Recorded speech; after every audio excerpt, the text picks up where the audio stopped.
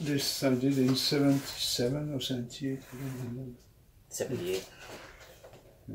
It's, it's really time consuming. So are these clients that are coming to you? No, no. I well, my client was a weekly magazine in, in Belgium, Mm, Belgium and France, and they let me. They say do whatever you want. really? So I say, well, it would be nice to to do something with a, a car. Yeah. I struggled with the, the, the blades. it was done okay. Mm-hmm. Then I said maybe I can do better, and finally I, I left it to it. but in the book it came out different, differently.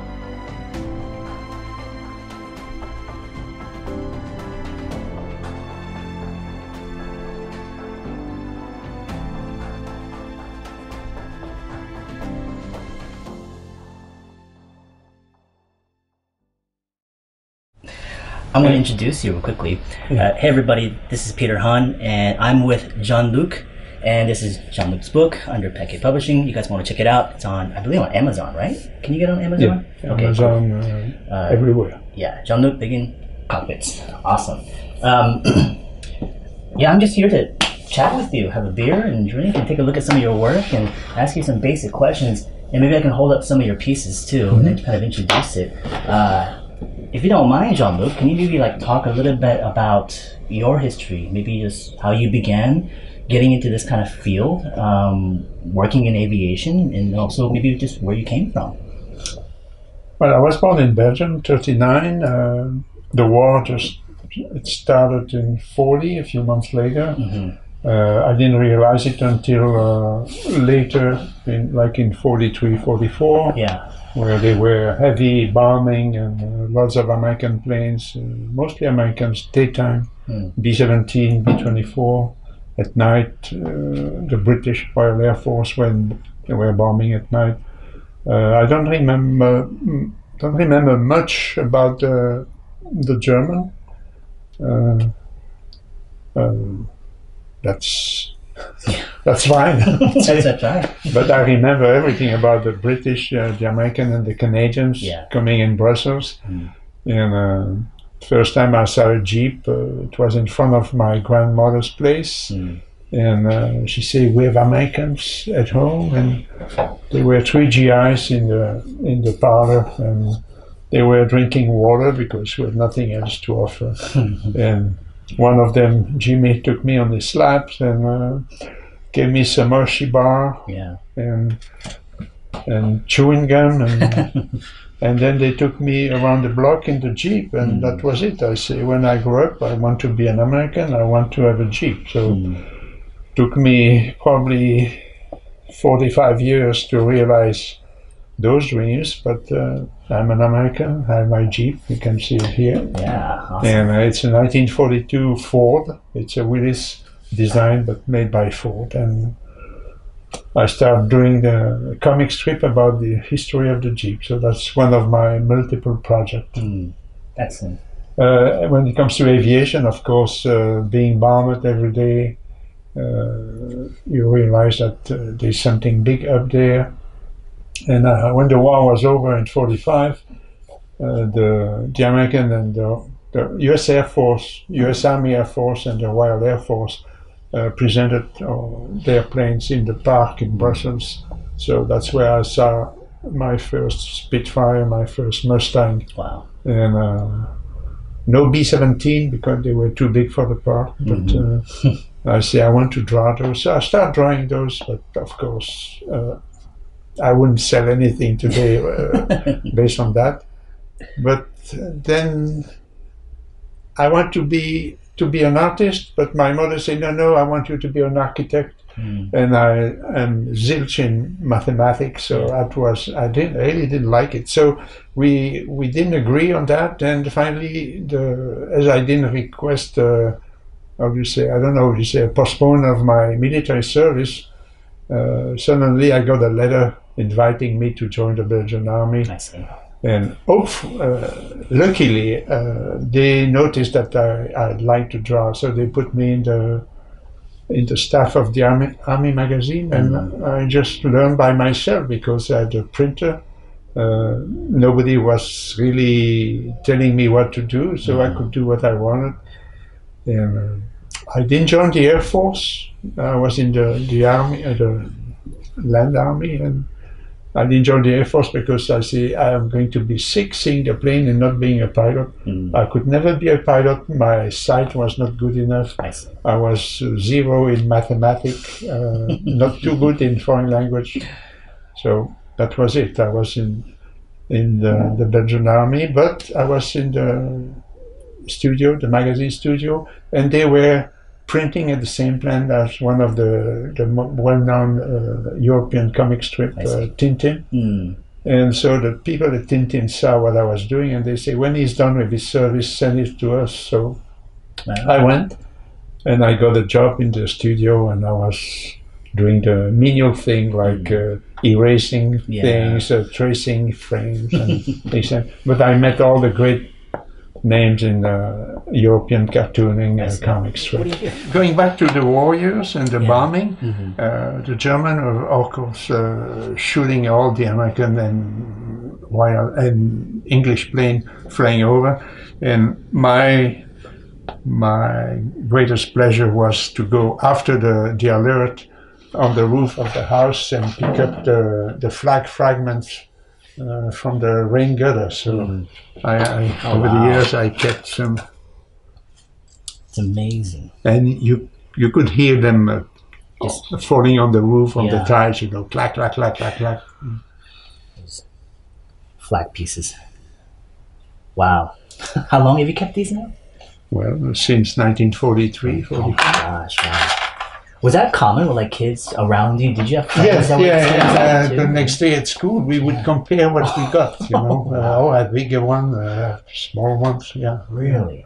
That's amazing. Yeah. Wow. So, uh, history wise, you were obviously getting into art by yourself and you're interested in drawing and sketching and you learned on your own. Uh, and so, professionally, you started getting into more like aviation. But where was the application of this? Like, what would it be used for, per se? Uh, like, if we have an illustration as one of these sketches we're looking at, or drawings that we're looking at right now, what would something like this be used for?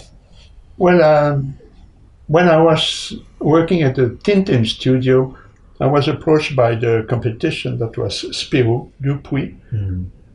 I read the, the other bigger magazine in Europe, and uh, they say if you come to us, uh, you can have your own uh, aviation uh, weekly. How do you say? Uh, you would say a blog today. Right, but- right. Kind of like your own, um, I guess, section maybe in the Yeah, paper. yeah, yeah. aviation section. Yeah. So they let me do exact whatever I want to do. So um, that opens a lot of doors, Sure. like uh, the, the Belgian Air Force, the French Mm. Air Force, uh, the French Navy, Yeah. and they say, "Well, we have seen some of your work in the magazine. We would like you to talk about this or that. I and uh, you are invited to." So I, I really started going up and up and up into those those things, and um I was on a carrier. I flew Mach 2 with the Canadian in the Starfighter. I Yeah. flew the, the Voodoo, uh, It's amazing. everything. So and then yeah. Oh, go ahead. people decide, hey, we would like to buy uh, a copy of it, but Mhm. not the one that's in the ma- in the news in the magazine because Yeah. the paper is not Sure. good. And so I started printing some, and uh, Mm. after a while, I'd sold thousands of them. Uh, Have you ever sold originals? no, Yeah. no, no. So you've kept most of your original over the many years of Uh, working. some disappeared. Yeah. Uh, like for, uh, with everybody artists, you yeah. give them to a printer, and then finally, oh, we don't know where it is, Oh, but we'll let you know. And, Right. Yeah. Wow, that's amazing. So we understand, you know, what you're working for, and you know um, where this is being applied to. But how do you go about doing something like this from the very beginning? Well, uh, I, I try to take pictures, Yeah. uh, like a, a puzzle of pictures of a cockpit, hmm put them together, and and then I realize what doesn't work. The perspective Yeah. is not all right. Uh, it doesn't connect on the on the edges. Um, And we have a So- sketch over here too. so I take a decide look at. to, to do a sketch first.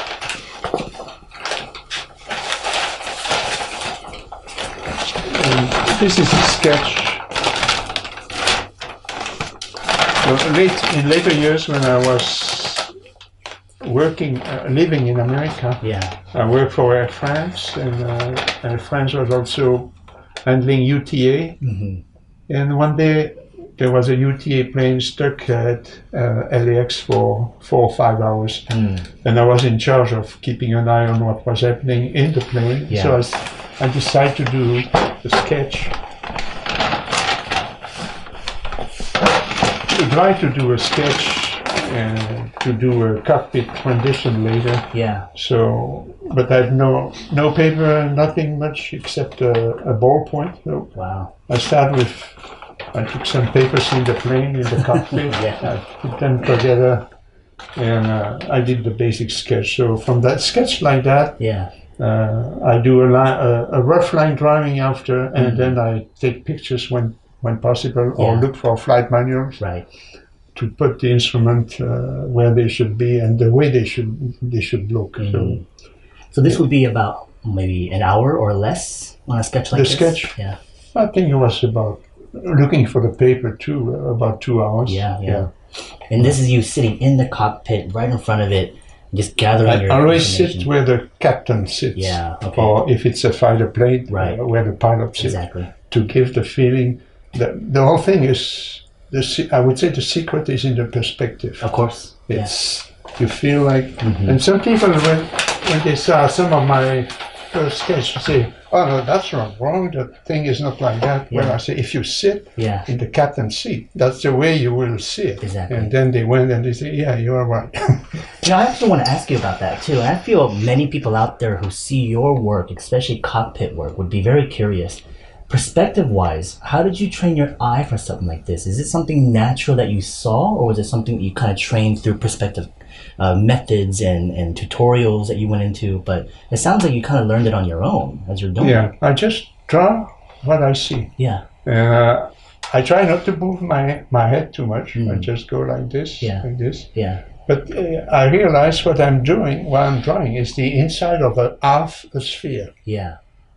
Oh, I see what you're saying. That's and then you try to, when Wrap you around to flatten it. yeah. And I think that was happened. That, it happened with uh, maps. You know, Right. Of course. Uh, it- That's incredibly complex. I mean, it sounds easy for you to de- describe that, and I can visualize it. The idea that you see this uh, cockpit like a spherical form, and you're able to map it out and then flatten it at a two-dimensional piece of paper. I can visualize it, but I can honestly tell you that even for me, that will be incredibly difficult to do. As a sketch, uh, I think I will be able to plan a lot of things out. Um, and I think I would conform to a lot of the classical methods of perspective, like, you know, where are my vanishing points and what point are these going into? But seeing it almost like a three dimensional spherical form was something I don't think I would even think of, actually. So it's funny because that really, even right now, kind of lets me know that sometimes uh, methods in classes can sometimes train your eye to look only in a specific way. But because you didn't do that, you had to kind of problem solve it on your own. So you kind of created your own method to get a, a view of it almost, what makes sense to you in a way. Um, so it's kind of interesting to hear that because if I was to sit in this cockpit and look at it more of a classical sense of like, you know, where all my horizon lines and vanishing points, all that stuff is, I may not be able to capture it in the way that you would because I wouldn't consider a lot of the curvature that would be going in there too. Um, I think a lot of students that might be hearing something like this as well would probably find that uh, interesting to hear. Where education and self-education is, is kind of like uh, interesting, always a dilemma, uh, even right now, because educationally, you know, I've been teaching art center for nine years at the moment, and the cost of education is going so high at the at this certain Yeah. moment. So, you know, many students are looking for ways to continue to self-educate and, and find experience. So to hear someone like you who has hasn't really gone through a formal, I guess, kind of university education, uh, and it's mostly done through experience and natural kind of inclination, uh, I think is fascinating. I mean, do you have any thoughts on like education like right now? If you had like a, a son that was interested in art and he said, I want to go to art center, would you back him on that or would you be like, mm, consider maybe something else? No, I did. Did? My daughter Caroline, right. oh, daughter Caroline, Yeah. uh, went to. To uh, the art center, yeah. and I was amazed by she learned there Mm, and the, the amount of work she was asked yeah. for. I remember one day she said, "Oh, I have to do 150 sketches Yeah. for tomorrow night." Yeah. I say, "What?" and she did, and she she's really talented, Yeah. and I wish I would have gone through that too. But okay, anyway, it's uh, it was not possible. I was that in in a way that the problem with me was that I didn't go to art school, Mhm. but I earned money right away Yeah. doing my stuff. Yeah. And then once you are making your life, you say, well, uh, what should I go to school now or not? Sure. And I decide not to, and I just kept doing my stuff. And finally, I end up in av- aviation, uh, Mm. being a, a sta- not a station manager, but operation manager at Los Angeles for Air France. So Mm-hmm. I see. I, I saw that you pulled out a couple of these small little sketches too, which I really like seeing because you know when people see your work, let's say online or through prints, they normally see like the really massive, big kind of cockpit illustrations, which are always uh, eye drop, uh, amazing just to kind of I like lost to do into. cartooning for Yeah, but like seeing these small things are just really fun to see too. I, So this is friend of mine who was commander, a Navy commander Yeah. uh, and pilot. He flew the F-18 and uh, he has a private uh, Stearman. So I combined both. Um, he liked it. I like it. That's too. amazing. And again, I like seeing these because it shows me that you're also well versed, not only doing just one type of drawing. I mean, you, you can draw airplanes from the inside, but also obviously from the outside. Uh, you're able to do caricature, and but you've also done like comics as well too. Yes. Yeah. Oh, it's And- in my studio. That- no, it's fantastic that you know to hear the the different areas that you've kind of um, gone into using your your I guess skill sets that you built over time. Um, I guess other questions building off of the way you kind of approach some of these cockpits. You sketch them, you'll take photographs, you gather information and data. How much time do you think you spend on actually illustrating the final piece? Would you say Six months. six months? But I do other things too. Of course, so it's a combination of multiple. Just uh, taking the kids to school, Yeah. or the grandkids to school, or whatever. So you're talking about day to day living too. Yeah. Yeah. And uh, sometimes my wife complains. She says, oh, "I think I married a monk," you know, nothing, you cannot hear anything. I don't know if you are there. In fact, you are there. Yeah, yeah. Yeah. And uh, And, and of course, in six month period, you're, you're probably working on it. Are you working on it daily, or is it more like off no, and on? no, when I feel like When you it. feel like it, Yeah. yeah. Sometimes I'm fed up with it, Yeah, and I say, "I'll do something." And that's why I start two or three projects at the same time because Yeah. you, you you move around different things. right. Yeah. Do you actually ever document actually how many hours it does take for one piece? So if you were to like No. bring it all down, how much time it would take? Because in a six month period, if you're working on it off and on, um, it could be upwards of probably what 60 hours, maybe 40, 60 hours or more potentially. A week. Uh, no, just on a single piece. 60, Total. Yeah, 60 total. hours? Yeah, is it more than no, that? more, more than that. Yeah. Yeah. So it's interesting to hear that because I think from my generation and the kids that are working today, the, the amount of patience it would take to focus on something like that would probably be incredibly difficult too. A lot of my pieces that I create for just even basic sketches to you know pieces for clients or professional work, you know, we're only spending maybe three four hours on some of these things. So to hear that you might be going, you know, 200 300 hours plus on some of these illustrations you know sound to me like oh my gosh that's almost impossible sounding Yeah. I don't regret it because I think when it's done, it's a piece of history. yeah yeah And it was a plane like it was 40 years ago Mm-hmm. or the way it, wa- it is today, but will not be the same tomorrow. right Yeah. And some, I remember, the best test for me is when the drawing is done, I show it to pilots Mm. and they say, yeah, I feel like I'm in my plane. And they never felt like that with uh, photos and this and that. So, Yeah. Amazing. So, and I remember one pilot was also, he was an architect, but also a pilot. And he wanted to do a cockpit rendition of the Concorde. And Yes. he asked me, how do you do that? And I say, I just do a sketch first. wow. And uh, he tried, it didn't work, and then all his colleagues told me, well, he went in a plane with a, a tape measure things, Yeah. he measured angles, this, Yeah, that, dun, yeah. dun, dun, and never, never made it. Mm. So, yeah, this is the Hurricane. Yeah. What year was this when you made this piece? Well, it's not finished. I'm It's still not- working on still working it. on it. Yeah. when did you start it? Uh, probably four years ago. Yeah. So there are some pieces that you'll probably start, kind of touch, and then move Yeah, on. Do uh, the else. P38 is one. The Yeah. the Messerschmitt is another one. The Mm. the Hughes uh, Spruce Goose is another one. So, So as a piece you're working on, like right now, uh, is this for then yourself, or are you still working with your publisher in Belgium, or are you still working with someone else? no, the magazine itself has sort of collapsed Yeah. uh, over four years Yeah. because kids are not really buying comics. Sure, I mean, the weekly comics anymore. It's Yeah. all uh, uh, digital or Mhm, computers. mhm, And, um, So then this is mostly for you, for yourself then. yeah, but Yeah. it's it. Like I show you the calendar. Mm-hmm. Well, it Okay. was not planned as a calendar. Exactly. So there's yeah. potential clients that might yeah, be. there's always somebody who will Yeah. who will say, "Oh, I'm interested." Right. So if we do a, a English version of the cockpit book, those will be in it. Of course. Yeah. Absolutely. Uh, it's amazing. So um, beyond the time, the experience, where you you know how you trained, what are some of the tools that you will use to you uh, finish a piece like this? Is it only obviously there's probably some penciling. Uh, what kind of like pens do you like to use for this one? Obviously, a lot of students like to ask this for many professionals. You know, what are some of the tools The only, and only pen I use is the the rapidograph, the repeater graphs? Koh-i-Noor, Yeah, rapidograph, yeah, yeah. whatever. Has it been like your go-to pen, or have you explored other tools yourself? Well, I start uh, 50 years ago with uh, just a regular pen Yeah. that you dig, you dip Dip in ink, yeah. and uh, that was a messy affair. And uh, then somebody said, "No, try this." So I tried the rapidograph, and I said, "Wow, that's marvelous!" Yeah. you know?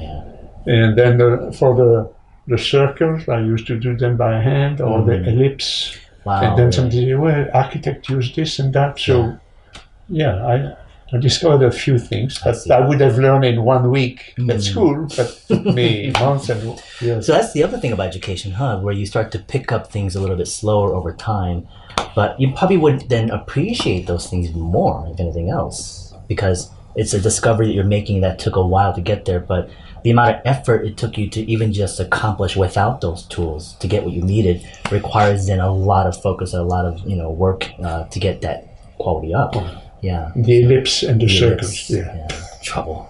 ellipses are in, in my class. Uh, so I teach a class that's only based on sketching. So ellipses are like the the trouble spots for most people, especially freehand, of course. I always tell students, you know, you're not machines. You cannot draw a perfect circle. But we do exercises to get closer and closer to the accuracy, so we can control our pens to get there. Uh, but of course, with something like this, I think the tools would definitely be necessary because it's all about the accuracy of that cockpit. Yeah. So Yeah. Yeah. that's amazing. But you also use other methods too, like you'll do uh, illustrations or sketches of like instrument panels or logos separately, and then you'll bring them in there by scaling it down. By Yeah, that's- it. That's something I started doing um, when I got my computer. Hmm. And I, realized that I could do the lettering and uh, all the, the gauges the, uh, faster with Yeah, that. yeah. Before that, I used to have translators, hmm and that was time killing too. You know. And then you never found. It was hard to find the right size, the right type, and this and that. Yeah. So Amazing. Yeah. now, what I do now, trying to go a little faster, Yeah. I do separate pieces, and then I put them together on the Right, computer. I see. Yeah. Amazing. So, is this something you want to just continue to do for the rest of your life? I mean, is there any other plans taking your art anywhere else? Well, uh, I have so many projects that I think I should live at least until 120. I don't know. I don't know. I hope so. I really do. you know, I was really happy to, uh, you know, discover not only just your work because I had actually seen it. Uh, well, the first time, well, just a little bit of history for people also that we met at Chino last year, Yeah. uh, 2018. Two years ago. Two years ago, yeah, already. Uh, and I had seen your work many, many years beforehand because I used to go to Chino Air Museum and see these massive posters of these cockpits. Oh yeah. Yeah, so I would show my students, you know, this is an amazing illustration, all that kind of stuff. But I just never knew who you were. So it was such a surprise to actually meet you at Chino and be able to have a dialogue and continue our dialogue afterwards too. Um, so I think this kind of like discovery, I've been sharing it a lot online where I think it's important to obviously support the youth and the, the younger students and the ed- you know, education side of things to get them where they want to go. But I also feel it's very, very important to make sure we recognize, you know, people like you who've invested your lifespan into something like this. And many of the younger generation people are not aware, I think, of, of the dedication that people have made in, before them. Uh, right now, the popular trends of digital art and you know video games and movies and comics are such a big thing, you know. But a lot of that stuff, I think, uh, you know, people get lost into the popularity the trends of stuff and forget sometimes the history of where someone like you may have kind of stepped in, even though it's not necessarily connected directly to what entertainment is, but the skill sets, you know, and, and where you could apply this is just absolutely amazing to me. So that's why I've been trying to like, you know, build a strong uh, connection as much as possible. So I hope that you will live to 120 and you'll keep working as much as you can. Um, but no, thank you for sharing your work. Uh, I'll probably end up doing some extra, a little bit of roles with you and just kind of take a little closer look at some of the work. So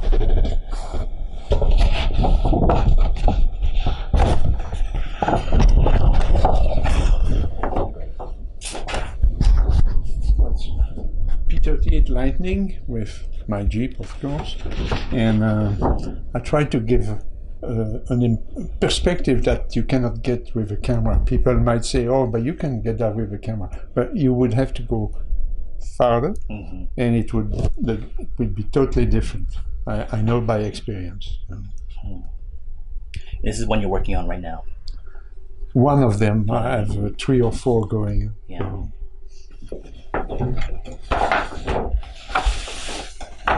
This I started in 70, 75, no, 76 in Belgium after having been invited on a French carrier. Yeah. And I, then I moved over here and I left it in my drawer. And uh, like two, three years ago, I started again and uh, that drawing was sort of telling me, are you going to finish me or what? and so I decided to finish it and it's in the, it's in the book. So um, a great plane. It Yeah. was flying uh, in 76 and the Navy told me, hurry up because it's going to be phased out in two years. It was phased out in 99. Wow. So Amazing. uh, that's my favorite, the Mustang. There's the Mustang. Yeah. P51. Yeah. Here too, if you take a picture of the whole cockpit at once, you will not get the same perspective for all those things on the side. Yeah. This is right there at your right, this Mm-hmm. is right there at your left, this is up there, this is down there. Exactly. So that's what I say, it's half a sphere Yeah. flattened. Yeah. Would be easy, it would be a program like that. Just to map the entire thing. And that's one in progress too, the Hurricane. And now I do the the gauges or the dials Separately. separately Yeah. and put them on later. And here again, you have all those things are right there to your left, mhm. right there to your right, Yeah. up, down. In fact, I call that a, a floating perspective. Floating perspective. Yeah, whatever it means. But Yeah. that's people say, "What oh, you call it?" I say a floating perspective.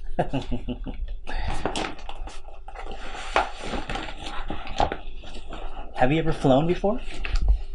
Not as a pilot. No. You've been inside somebody's airplanes, but never Yeah, but no. Well, they let me fly it. Yeah. but uh, even Mach 2, I remember over Germany, uh, Mach 1, sorry. Uh, but uh, my wife's, because my son in law is a f- captain and a flight instructor, and he said, I'll teach you to fly, at least go around the, f- the, the field for one or two trips, and uh, we can do that in about ten days. And my wife said, if I hear that it happened, I'll divorce you. So it's sort of take the incentive away. That's piece of the Apollo command module. Yeah. I, I did. They let me in, so it helped a lot. In fact, they were they thought I was sleeping in it because I was doing my sketching. It took me so long.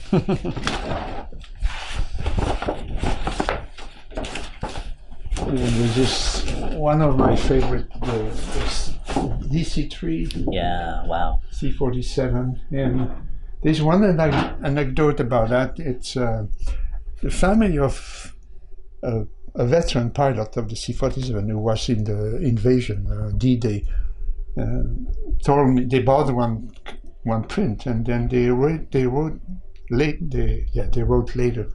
Uh, when we framed it, and uh, our dad was in his bed, sort of. Uh, he had Parkinson's and everything, and and uh, we put the frame in front of him, and he was suddenly he sort of woke up and said, "Let's go, let's go." so I guess my perspective did something. Wow. Perhaps re- reconnect some synapses. Yeah. You know. Yeah. Oops, sorry. Awesome. Made him feel like he was in the airplane again. Yeah. Gosh, And here I put my wife. that's incredible.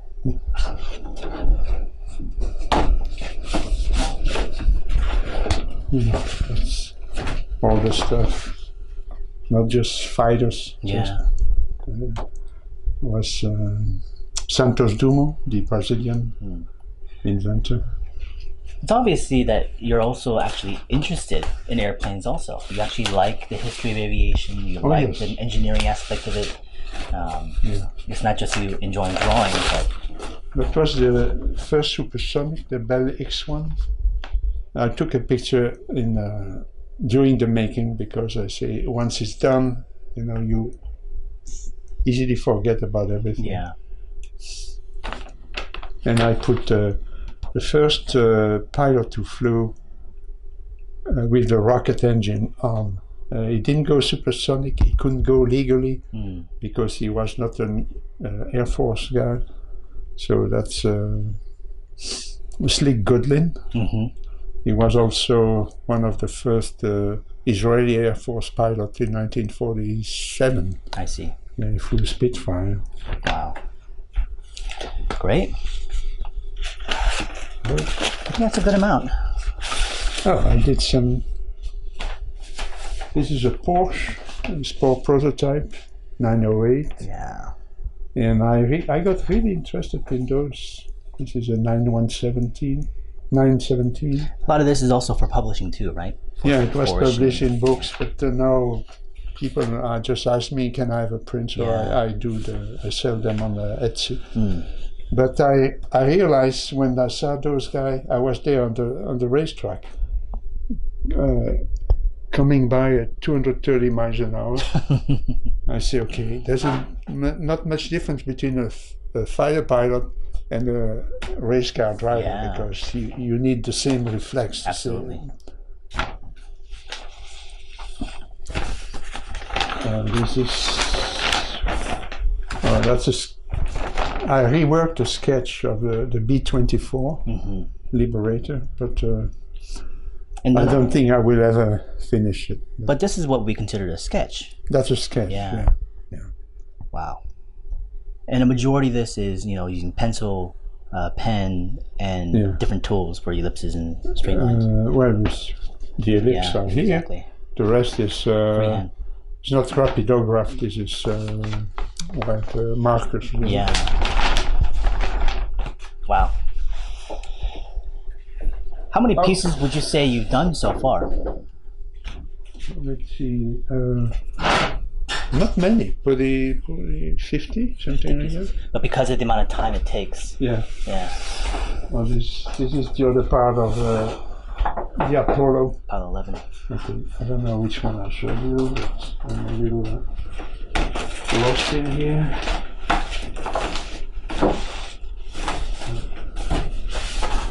This um, I met uh, Milton Caniff, so he gave me some of his of his prints. Wow, that's great. I that's something I really admire. Mm. I see. And figurative work like humans and people are something you've drawn as well too. No, but I'm not very familiar with it. Yeah. Uh, Yeah. to make a nice uh, human body, I need a ruler and a compass. so that's what I regret that I can I didn't take the studies like that because my daughter did. yeah, yeah. Yeah. That's the other Ah, part. okay, great. We can finish on this.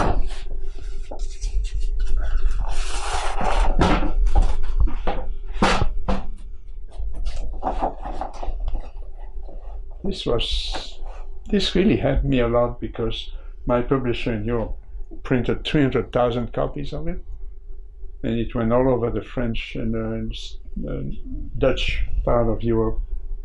And then NASA saw it, and I went to see uh, Apollo 12, uh, Apollo 17, no, Apollo 16, a liftoff. I met Cernan there and invited me to his ranch, and so really it snowballed. Amazing. How long did this one take you? Not too long No. because uh, my publisher said, "Oh, we should have something for the the space launch." So, Mm. Wow. I- and then uh, later, I had it signed by the astronauts themselves. Yeah. Here, uh, Cernan, to to Jean-Luc, an old friend Wow. Who I'm proud to know, and here Ron Evans. I can fly to the moon. I'll never be able to draw like you. That's a little too much, but anyway, I I took it gladly. Is this about the largest you've gone? Yes. Have you gone bigger than this? Yeah. or- Yeah. Yeah. It's amazing. Thank you for sharing with Jean-Luc. Uh, tell me a little bit about your uh, garage. Well, that goes back to when the Americans came in, in Brussels, and as I said, I got a ride in the Jeep, I Yeah. got the Hershey bar, and then they would take me regularly to their PX, you know, Post Exchange, that's Mhm. a military uh, store, and I would see all those unknown product to me, and in my later years, I said I want to sort of recreate the atmosphere of the PX. Of course, it's very modest but uh, all the product of the those days. And then I decided to. I got so many ma- magazines from World War II. I decided to display them in a way that's uh, not too ordinary. And I saw a newsstand in New York. I took some measure pictures and built a, a smaller version of it. And uh, see all the the magazines, uh, wartime. The covers are Yeah. and then the, in nine, uh, right after Pearl Harbor, the U.S. government asked all the publishers in America to put the American flag, stars and stripes, on the cover of their July 1942 Mm. issue. So Yeah. I got a few of them there, Wow. and uh, they were 117 different ones. So Amazing. on July 4th or the week of July 4, 1942, all the newsstands were just covered with flags. Um, so the last thing I kind of wanted to talk about was your your next steps. You know, obviously you're working on a couple of additional projects, and I'm hoping that I'm going to try to work with you this year to see if we can get your work up in the gallery. So um, I hope that you're going to be open to do so. But is there anything else maybe you want to mention or, or talk about, or things you might want to share for people that might be watching, or for me? Uh, if not, don't worry about it. Well, what drove me is just passion, yeah, uh, passion for illustration and aviation. yeah.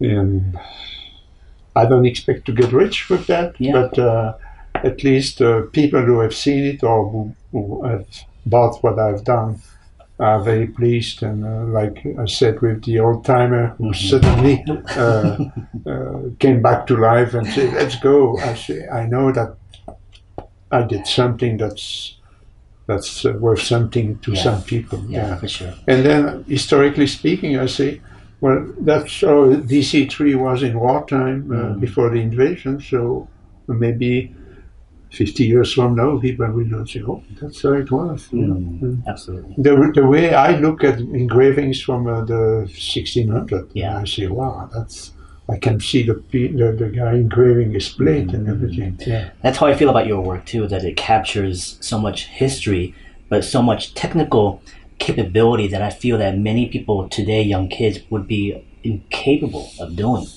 Uh, even for myself, I don't think I would be able to achieve the level of precision and quality that you've been able to get with your illustrations. Um, and you know, I'm sure you know, all artists But are, are humble. I started like everybody else. Yeah, I exactly. couldn't do it. Yeah. Just and that's the amazing thing about it. The, the level of dedication, like you said, passion was a huge part of it. yeah, I think that's it shows. that's the most the the more, most important ingredient is passion. Yeah. It's so time consuming. Absolutely. Yeah. Well, thank you guys for joining in. This is Jean Luc. Please check out his site. He does have an Etsy, which I'll share as a link. And the book is available on Amazon, so go check him out and support Jean Luc. And hopefully, at some point this year, we're going to get him inside of a gallery show in LA, and you'll hopefully be able to see some of these originals in person. So, thank you, Jean Luc. I appreciate it. Thank that. you, Peter. Hmm. All right, we're good.